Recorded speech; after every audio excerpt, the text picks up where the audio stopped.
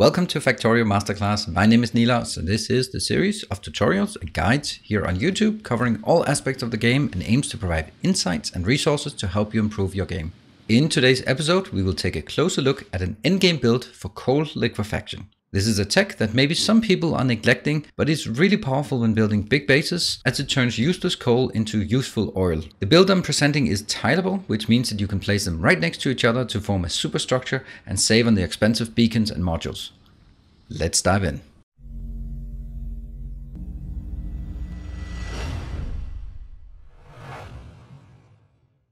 Each Factorio Masterclass starts as a workshop session streamed live on my Twitch channel. This is over at Twitch TV slash Nilaus, and you're very welcome to drop by. This is usually on Mondays at 8 pm Central European Time. Feel free to drop by and help decide, design, and discuss upcoming guides. And remember, our collaborative designs are always superior to what I could have built myself, and every time I learn something new about the game, which I think is pretty damn amazing. If you like this type of video, then hit the like button and subscribe to the channel for more content like this. If you have ideas, comments, or feedback, you're very welcome to leave a comment below or join our Discord server. So you found a nice coal patch somewhere out in the world and you want to hook it up and then it dawns on you, what am I going to use coal for in the late game? And the answer is, of course, coal liquefaction. Let's start by looking at the tech. Coal liquefaction. Here it is. This requires purple science and advanced oil processing, which makes sense. So this is later game, I would recommend that you do this after you've built your initial oil setup. And if you have any doubts about how to set up oil, then I have a masterclass called oil processing that I would highly recommend because that will solve all of your oil needs. So this is a matter of when you're in the late game and you scale up the base, you want more here. So let's take a look at this recipe. This tech only contains one recipe and this recipe is honestly a bit different from pretty much anything else. And maybe because it's different, that's why some people are skipping it because it's more complicated to build. The basic concept is that you convert coal into oil with a bias towards the heavy oil. And unlike the advanced oil processing that you can see here, this oil processing is heavily skewed towards light oil and petroleum, while the coal liquefaction is skewed heavily towards heavy oil. The design I'm working on will convert all of the heavy oil into light oil and into petroleum. The reason I'm doing this is because at the end of the game, when you're out building outposts, you will need a lot more petroleum and that will be your bottleneck. You will need it for some of the things that you will continuously consume, such as plastic and sulfuric acid. So those we need to scale up when you're going to a mega base build. And that's where the coal liquefaction really comes into its own. Now for the build I'm, uh, I'm going to design here and demonstrate to you, I'm not including a split for light oil or for lubric lubricant. The reason I'm not doing that is because this is already covered during my normal oil processing and you do not need to scale lubricant. Let's start looking at the actual builds. So the first thing we need, let's build some power. We're going to need one of these. Let's go in and hit the coal liquefaction. Now, we can look at the recipe. So the recipe is 10 coal in, 25 heavy oil in, and 50 steam in. So you need a lot of coal, which is, comes on a belt, and you need also two inputs of liquids, steam being one of them. It's quirky as well. And then you have the heavy oil output and the light oil and the petroleum output. These are similar. The outputs are similar to where they would be placed on the advanced oil processing. Now, since this one has both inputs and outputs. The input is obviously less than the output. Then you need to have some way in the design to prioritize that the output goes into the input first. You can do that by, for example, having a pump here before moving the rest of it somewhere else. But this is a very important design principle here. You must be able to, you must make sure that the output heavy oil does not get consumed by, light, by heavy oil cracking, but that it will prioritize going into to continue the cycle. Otherwise, it will run dry and the whole thing will stop. Before we just go really into it, let me explain a very interesting quirk about productivity modules in this. So normally when you're dealing with productivity modules, you're going to get the output and then when the yellow bar here progresses, you will get the productivity you'll get the productivity, which will be one extra bonus output here. However, there is a special quirk with recipes that include the same product as input and output. That is actually coal liquefaction and the Kovarex refinement process. In that case, you do not get the full 90 heavy oil as a productivity bonus. You only get the difference 65 heavy oil. So every time the yellow productivity bar goes up, you will get 10 petroleum gas, 20 light oil, and 65 heavy oil. That's really important when you start calculating ratios because it will skew your ratios if you think you get the 90 heavy oil as a productivity bonus. Now this build I'm working on, I want to create, is going to be consuming a full blue belt of copper. So in order for us to do that, I always want to have full productivity wherever possible. Let's hook up more power. And that means we need to get some beacons. Look at the new beacons here. And of course, speed modules in here. But that's not going to be enough. We are also going to do it on the top side here, which is going to require more power. There. So what we have now is Four of these at speed 5.55. What this means is that this will consume 44.4 coal per second. I'm going to just say that's a full blue belt and uh, don't care about the 0.6 remaining. Let's take a look at the inputs and outputs of this build. We're using max rate calculator to get a summary. This summary says the maximum it can consume 44.4 inbound. It consumes 222 steam Let's deal with the steam first. I can leave this one up here. So we're going to have to do some steam. Steam comes from boilers. Each boiler is producing 60 per second. So I need four of these in order to match the 222.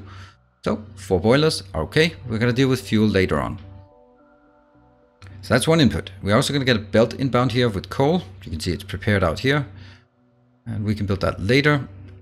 The output here is three, 400 and 86 output minus the 111. That's 375 output heavy oil, and that needs to be consumed. On top of that, we have 115 light oil and a meager 58 petroleum. Now everything needs to be converted down to petroleum because that's our desired output. So we have the input here on steam. We also have the input here on coal. We'll can deal with that later. So let's deal with the next part. We now need to build enough heavy oil cracking in order to consume all of the heavy oil. One, two, three, four. I will convert these. These are heavy oil cracking. They will need some modules. There we go. And they're also going to need some power. There we go. You'll also need some beacons. Let's take some beacons in here. That is going to be enough. And then I'm going to get that one up here. So this, these ones are 4.55 speed and I want all of them to be 4.55 speed. So I can take this one and move it down there. Now you'll see this one is now 4.55 and I want all of these to be 4.55. What has happened is actually this one has gotten one extra module, this one, and this is now speed 6.5, 6.05. I want this to be 5.5 in average. So instead of doing that, I'm just going to take this one out. That means this one is 0.5 crafting speed too low. You can see that over on the right hand side. And this one is 0.5 crafting speed too high. That means on average, it's still consuming. I'll do this part. Still consuming 44.4, which is our desired.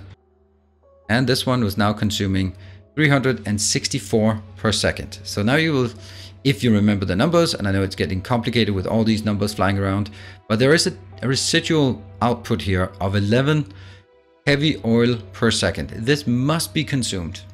If you're not consuming this heavy oil, then the whole thing will eventually jam. So, funnily enough, it just so happens that if I build that here, and I built that one, a chemical plant using heavy oil no beacon, no modules, very important, but affected by one beacon, then it will produce enough, have enough solid fuel to keep these fed and it will consume exactly, and I mean exactly, the residual we need. Now this thing is perfectly balanced and will get rid of all the heavy oil we have. Let's move on to the light oil then. One, two, three, four, five, six, seven. All of these will be light oil cracking. There, they will of course need modules. There we go. And they will need beacons. Yeah, they need to be fully beaconed. See, they're all now uh, they're all now nothing because they don't need have the power. So let's get the power up as well here. They are now all speed 4.55 maximum beacon utilization. And if we look at it, this will consume 477. And the total production between this one and that one is going to be 470. So I have a an excess capacity for light oil consumption of 7 per second, which is pretty damn close to an optimal ratio. So I'm very happy with this. And we're now producing 411, 414. It will be slightly less because it can't produce all this. But I got the numbers. And there we have it. These are all the entities we need. And you might think that that's a random pattern we have set it up in, but there is actually merit to this. Now, all we need to do, and I'm just saying this uh, bit sarcastically, all we need to do is just place the pipes and the belts. Now, this is where the blueprint comes in. I've placed built all of this manually, and uh, with a bit of luck, it will superimpose the blueprint when I uh, stamp it down. Let's give it a shot.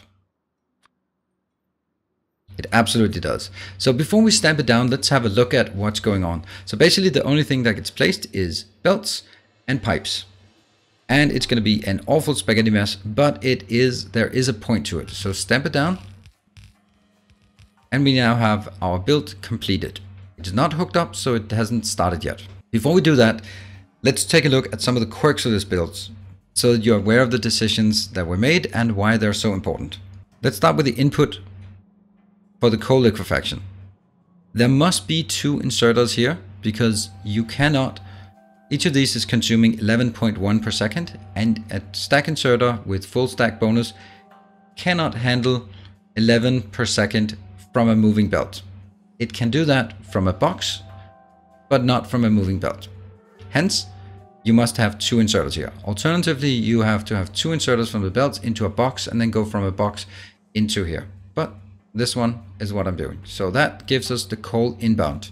The next weird quirk here is right that one. You can see that I'm outputting here on the on a red belt. It could also be a yellow belt, but it must be a slower belt than a blue belt because if this inserts on a blue belt, it'll move too fast for this blue inserter to pick it up. The reason why I built it so convoluted and not just moved it out one tile is because if you look at the substation here, it exactly covers this tile but it does not cover the next tile. So it's a matter of just optimizing for power poles as well.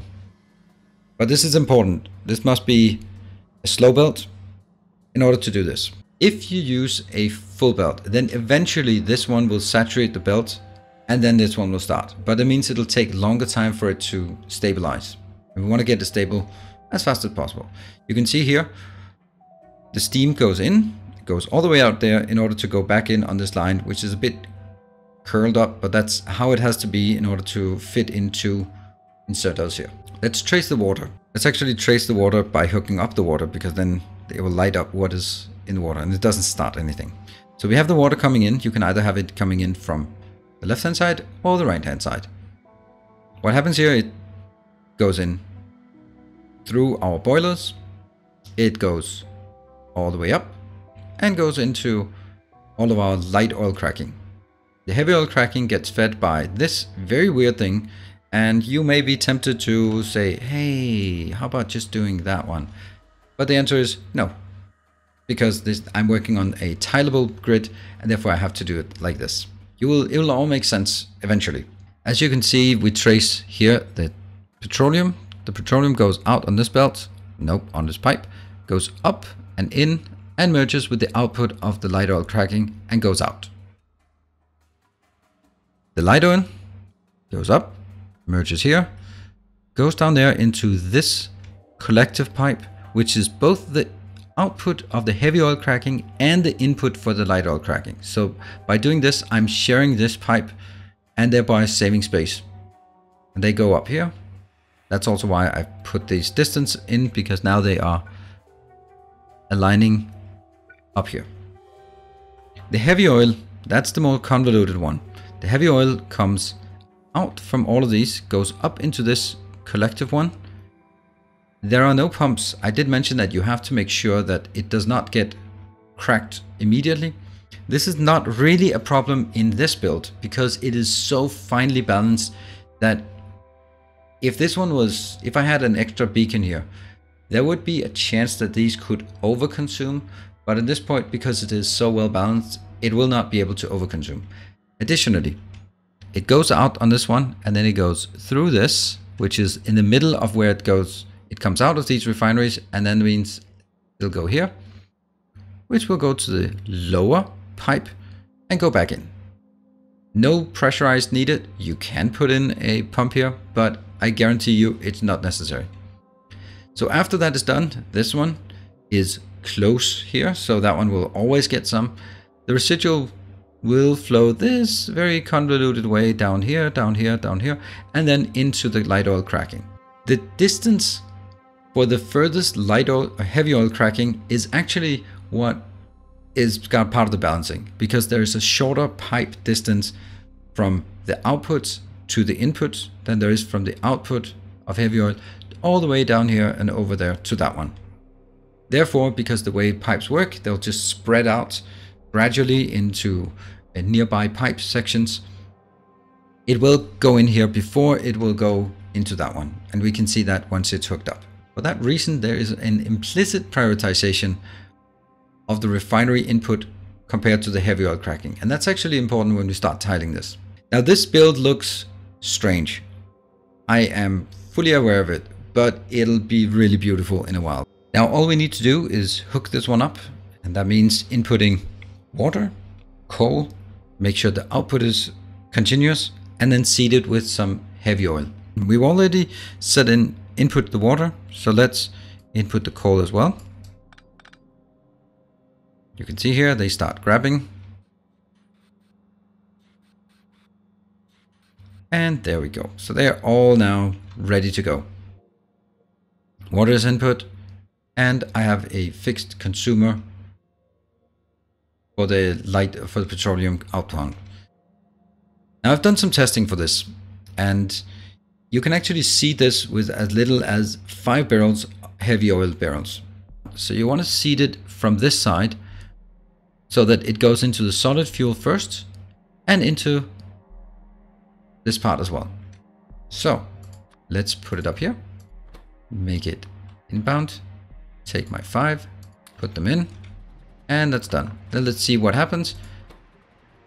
I'm getting some fuel in here. It's not a lot, but it's going to be something. It's going to be enough to keep some of these ro rolling here. And these ones, you can see that there's just, they're just flaring up once in a while, just a bit. They are flaring. It's going to be slow, but it's going to get there. What comes in will continuously here. This one is continuously building. That's the most important part because that gives us the steam that we need.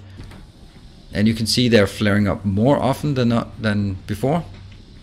And still the way that this works the first two will be working. We're not right now having three of them operational. That means I'm producing 180 steam per second. The last one isn't quite done yet. It'll we'll have to wait until it it is allowed. There we go. Now it's working. Now I'm getting 100 and, uh, 240 steam per second and I'm consuming 222 that means the steam here should be eventually starting to scale up or starting to fill up. But you can already see here, Steam is no longer a problem. They're all working continuously. All working continuously. We go over to these. They're all working continuously. Uh, right now, this one isn't actually working completely continuous. The reason why it's not doing that is because this is still fully operational. This will not need to be fully operational once it reaches a steady state. When this belt is fully loaded with solid fuel and this one has an internal buffer of solid fuel, then it'll slow down the, the consumption. And once that happens, these will be working 99% of the time. You can see all of these are huffing and puffing with only extremely small red indicators here because I'm producing almost enough as, as we can hear. So this is the setup. It's all operational. It's working really well. Now you may think that this looks a bit quirky and you could build something that looks better yourself. However, there is a point to it and that point will be revealed shortly. But before we do that, let me just take a moment to thank all of the Patreon supporters who are supporting me and the work I do here on the channel. It means the world to me that there are so many people who choose to support this work and that allows me to make videos like this and continue to be a full-time content creator. So thank you very much to all of you who are supporting me. And if you want to support the channel and the work I do, then head on over to Patreon. Thank you very much.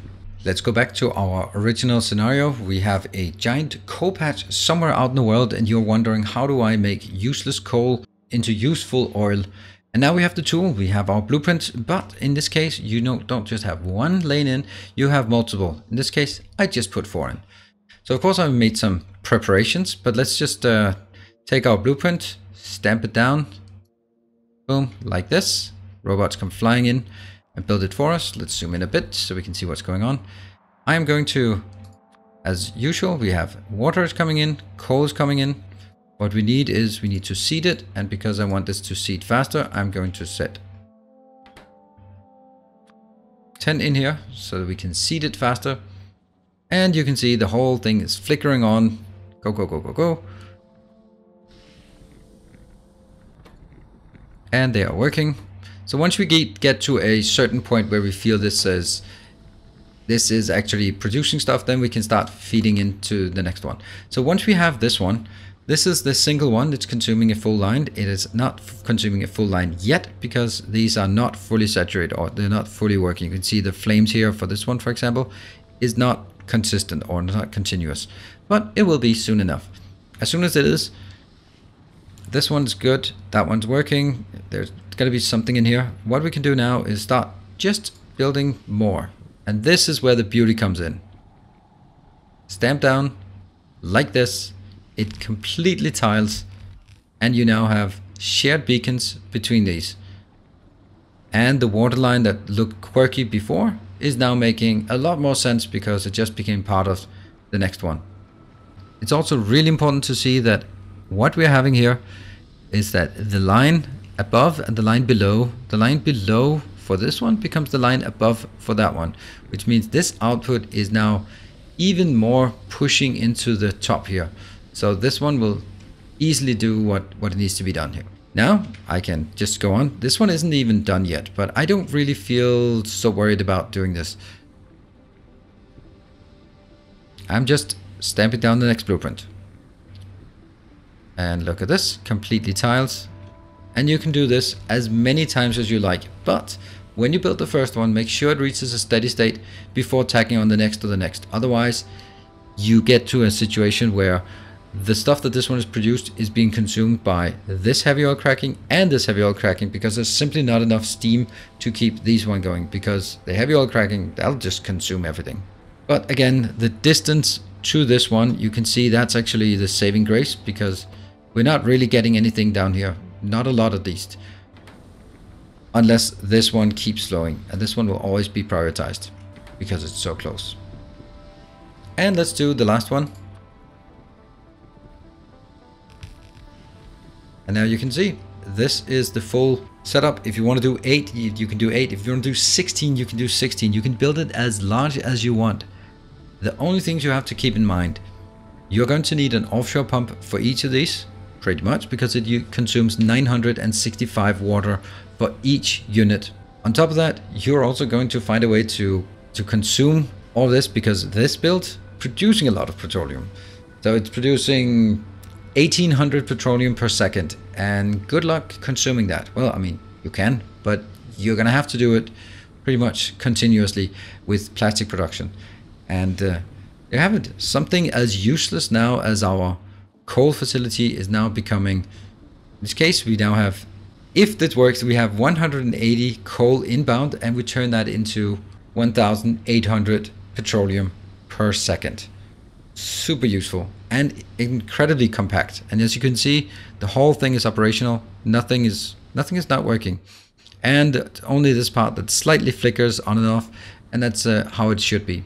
that's going to be the end of this design. I hope that you have enjoyed it. Remember, this blueprint is available in the description below, so you can always grab those blueprints. I have for all of my masterclasses, I have blueprint books available. They are in the description. So do click the show more below so you can see the link to the paste bin and that's where I store the blueprint. If I still have your attention and you are still awake, then I think I've done my job well in terms of delivering a video that caught your kept your attention for this long. So if you liked the video, hit the like button. Let me know in the comment section below if you have ideas or comments for future videos. And if you want to see more videos like this, then hit the subscribe button so you get notified when new videos are coming on my channel. Also, if you want more Factorio content, then do check out my Twitch channel. I'm streaming Factorio Let's Play over on Twitch TV slash Nilaus, and I'm doing this on Tuesday, Thursdays, and Sundays at 8 p.m. Central European Time. This is a different Let's Play than the one we have here on YouTube, and I always appreciate when people drop by because they, it's much easier to carry a conversation when you can chat live with someone. Keep an eye out for future masterclass videos on my channel. Thank you very much for watching, and as always, stay effective.